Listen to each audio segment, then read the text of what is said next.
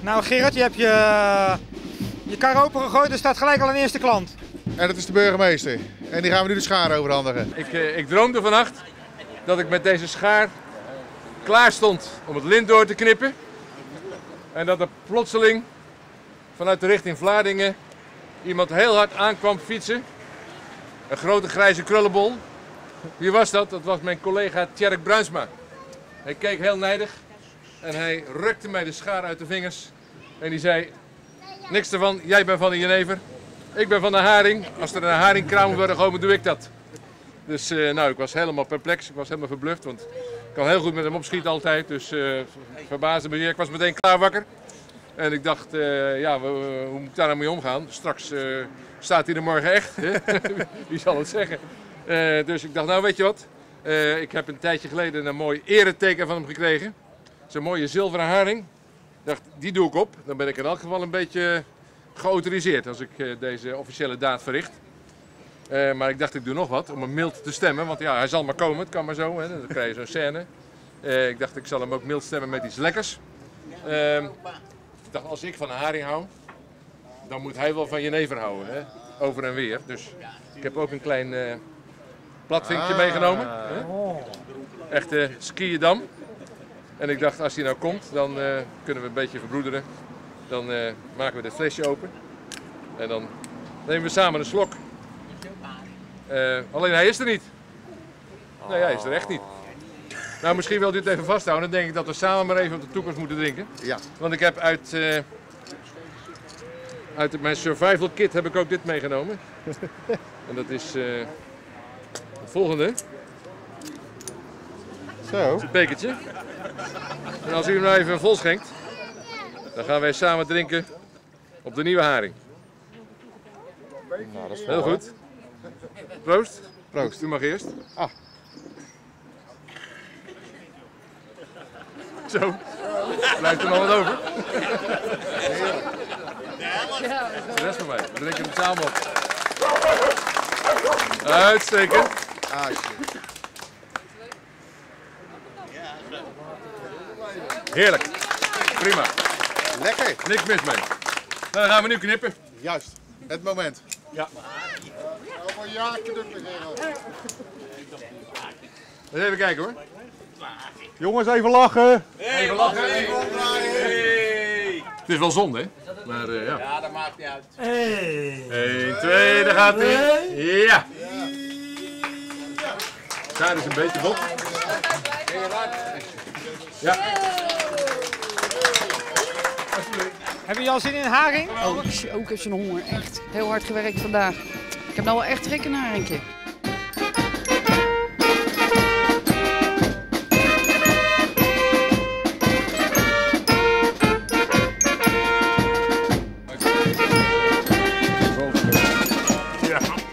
Gerard, eh, ja, het is toch een beetje rauwe vis eten, hè, haring?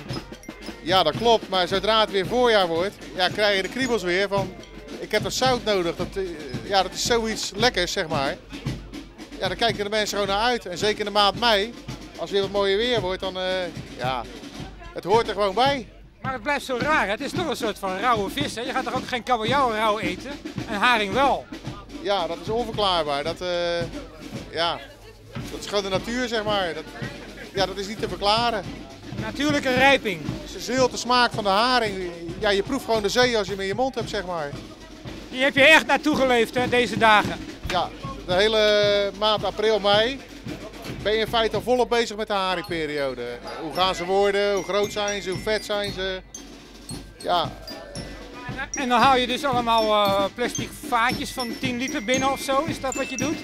ja het zijn allemaal eh emmertjes haring. In de een zit zeg maar 40, de ander weer 50, 55.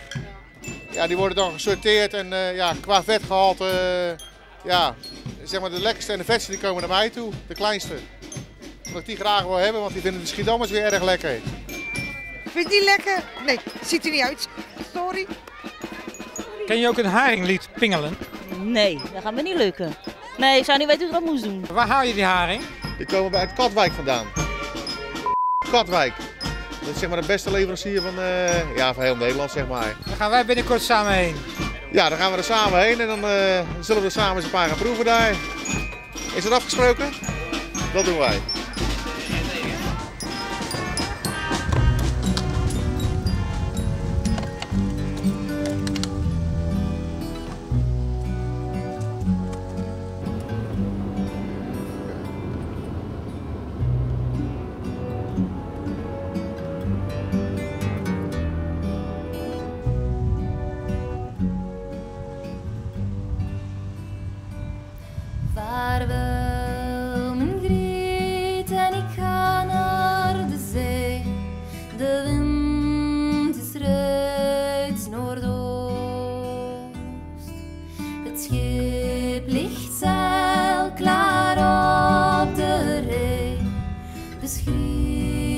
Grietje, wees getroost. Straks kom ik weer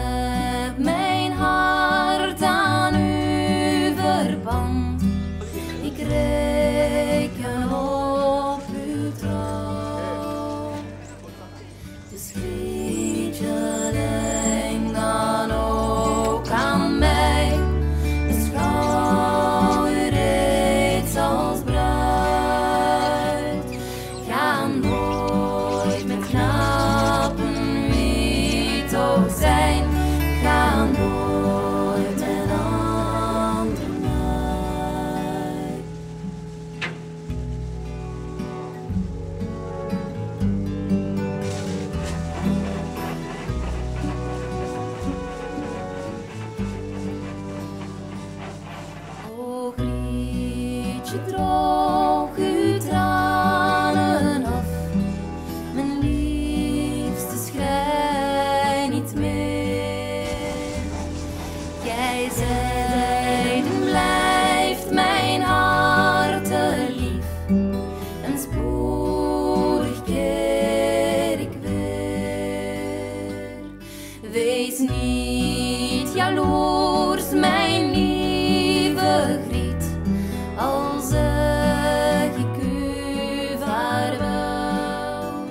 Nou, hier staan we dan bij het monument van, ja, van Nieuwjaarsbrand 2001, zoals je ziet.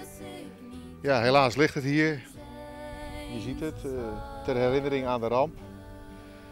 Ja, water en vuur.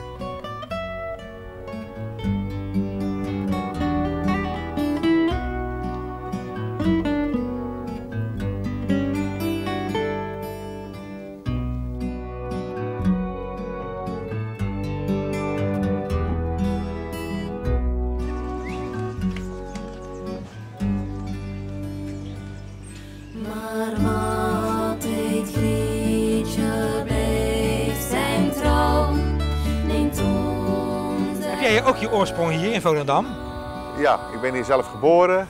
Eh, toen ik twee jaar oud was, toen zijn mijn ouders op zoek gegaan naar een viswinkel. Zijn ze eerst Den Haag gaan zoeken. Vond mijn vader niet zo'n leuke stad. Eh, kreeg hij een tip van in Schiedam, is er nog iets eh, beschikbaar? Nou, ik kwam op het Rubensplein en zag, ja, een heel mooi pleintje. En dacht, ja, hier wil ik mijn vis gaan verkopen. En welk jaar was dat dan? Dat is in maart 1965 geweest.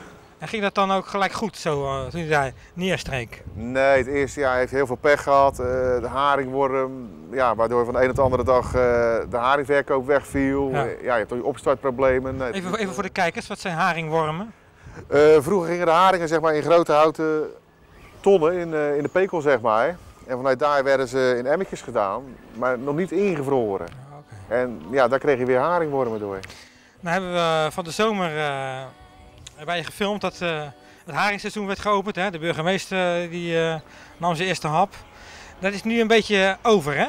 Het haringseizoen is nu ja, ten einde, zeg maar. Dat is, dat is nu voorbij. En nu gaan de mensen zich weer meer richten op warme vis, verse Ja. vis, mosseltjes en noem maar op. En daarom zijn we hier in Volendam. Straks gaan we even naar een bedrijf, ga jij inkopen. Wat ga je daar dan allemaal inkopen? Eh, onder andere paling, lekkere schieraal gaan we halen, eh, wat kippetjes, eh, ja, wat zalm misschien. eh, ja, van alles een beetje, zeg Ja. maar. Ik wil het echt hier vandaan hebben, want ja, hier is alles nog goed, hier is alles nog lekker. En eh, Ja, bij ons in de regio, met alle respect, vind ik het toch wat minder, de kwaliteit. Ja. En het is hier gewoon nog goed en hoog. Dus ja, vandaar dat ik altijd één keer in de maand hier naartoe eh, ga om zelf even eh, mijn rommel uit te zoeken. En meestal komt het dan per vrachtwagen naar Schiedam. Ik wil het zelf ook wel eens halen. want Ja, het is erg leuk natuurlijk Ja. om hier eh, rond te lopen. Je hebt iets met vis, hè? Ja, het is. eh, ja, ja, daar groei je mee op. Ik was twee jaar oud en eh, ja, daar lag je in de achterkamer tussen de school en de panharing in, zeg maar. Dus ja, zo ging dat vroeger. We gaan even koffie drinken en daarna gaan we even, naar, eh, gaan we even vis inkopen. Ja, dan gaan we eerst even een bakje koffie doen op de dijk en dan eh, gaan we eens even in de rokerij neuzen.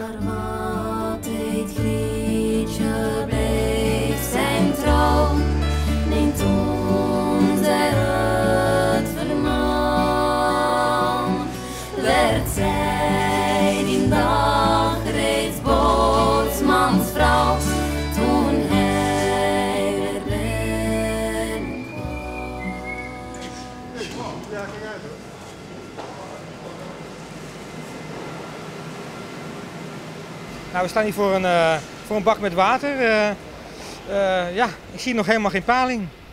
Ja, maar die zitten er wel in. Wat is het eh, kweekpaling? Het is kweekpaling. Wordt hier in Nederland wordt dat gekweekt. Dus de glaszaal die komt in Nederland binnen. Die wordt opgekweekt. En daar, op een gegeven moment als ze oud genoeg zijn en dik genoeg en vet genoeg, dan krijgen wij ze. Netjes afgezwommen en wel. Schone paling. Hoe zit het met de glasaal in Nederland nu? De glashaal is eh mondjesmaat verradig. Heel duur.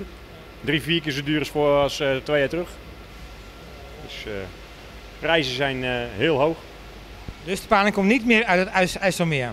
Alleen in de zomermaanden wordt er heel, heel mondjesmaat nog gevangen. Het is eh, heel mooie lekkere kwaliteit, alleen zeldzaam aan het worden. Dus dat raakt helemaal over. Gerard, gaat jouw hartje sneller van kloppen? Nou, van deze dikke paling niet hoor, maar van die schieraaltjes wat hij net vertelt, dat is zo erg lekker. Dat, eh, ja, daar kan niks tegenop. Dat is top. Ja, Gerard, we staan hier op een eh garnalenafdeling eh, binnen het bedrijf hier in Volendam. Ja, ja zoutwater is dat hoor. Dat komt volgens mij niet uit het IJsselmeer. Nee, deze granalen komen allemaal uit de Noordzee vandaan. En dan gaan ze naar Marokko toe, dan worden ze dan gepeild. En binnen vijf dagen zijn ze dan terug. En hier op Volendam ja, wordt het dan afgewogen en dan ja, gaat het hele land door. Want eh, vroeger hadden we hier peilmachines in Volendam. Maar ja, het is allemaal zo duur geworden, dat, eh, ja, dat is niet meer te doen. Dus het gebeurt nu tegenwoordig allemaal in Marokko. En dan worden ze keurig niks schoongemaakt en ja, zijn ze ook nog lekker en eh, zeer goed ge- geschikt voor consumptie. En jij koopt ook je garnalen hier in Volendam. Ja, altijd Hollandse garnalen hier op Volendam, makreel op Volendam, paling op Volendam. Ja, het is gewoon het beste wat we hier te krijgen valt. Je bent aan het sprotjes knippen, hè? Eh, wordt het nog gegeten, sprotjes? Ja, zeker. Heel veel. Wie eet het dan? Eh, vooral in België. hè. Dus de Belgen eten dat. De Belgen eten dat heel veel. En bij ons hier zo in Nederland ook. En worden die gebakken dan? Nee, dit is gerookte sprot. Er zit er ook mee. Het zijn zoute sprotjes. Het is een soort eh zoute haring. Zoute sprot. Een soort mini-haringjes. Ja, ja, ja. De, de platen bevroren makreel ingestort. Dan wordt het eh, met bronwater worden ze ontdooid. Binnen de 24 uur. En eh, binnen de 24 uur, zult u zo zien, worden ze gestript, verwerkt, opgehangen, gerookt. En ongeveer eh, nou, binnen eh, 36 uur later liggen ze bij de klant.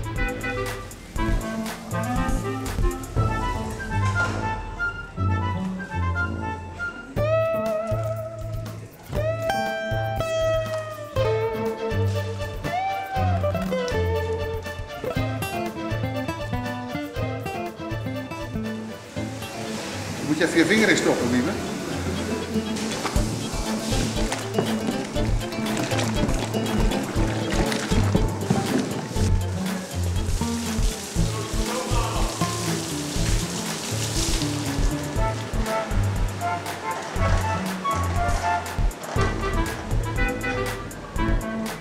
Nou, hier zie je de gewassen palingen de rokerij gaan. En dan blijven ze een aantal uren ja, inhangen, zeg maar. Ja, tot ze klaar zijn. Een heel eenvoudig eh, proces, zeg maar. Ja, hoe lang het precies duurt, weet ik niet. Ik zal het aan de meneer hier naast me vragen. Hoe lang blijft het daar nou in? Het het geheim van de smid. Geheim van de smid. Nou, dat wordt dus niet verteld, dat hoor je.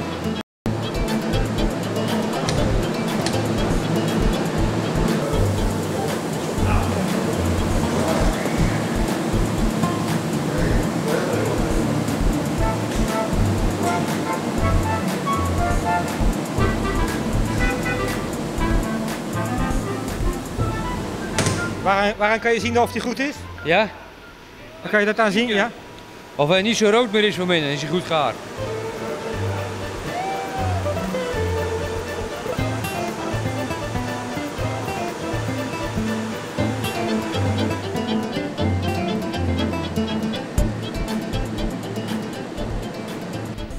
Jij bent nou aan het proeven. Jij weet al wat jij gaat kopen zo. Ja, ik heb eh, hier van de zalmen lopen snoepen, zoals je zag. Hier van de EK-blokjes noemen ze dit. Dat zijn de afsnijsels dan. Dus van de zalm neem ik een eh, doosje mee. Kippertjes neem ik een doosje mee. Nou, die blokjes dan niet. Dat is, eh, en makreeltjes. Ja, dan wat heerlijke paling. En nu ga ik even bij de gefileerde makreel kijken bij hem. Wat hij daar nog heeft liggen, want dat ziet er ook erg mooi uit, zie ik. Misschien dat je even mee wil lopen. Dan kijken we samen even.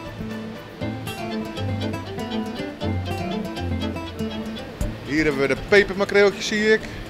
En dit zijn dan naturel.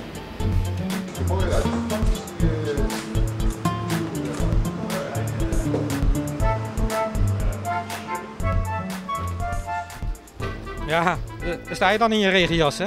Is je pet? Ja, die heb ik in mijn zak gestopt, want eh, we lijken wel op een stel, eh, hè? Nou ja, alles is weer binnen en we kunnen weer gaan, denk ik. Je gaat er ook wel paling kopen, hè? Ja, paling, dat, staat, eh, dat hebben ze netjes ingepakt voor me. Het proces heb je net gezien hoe het allemaal ging. Dus ik heb paling bij, makreeltjes, eh, ja, noem maar op. eh, kibbeling meegenomen, wat zalm meegenomen, Hollandse granalen, grote zalm. Dus ja, dan kunnen we weer smullen in Schiedam.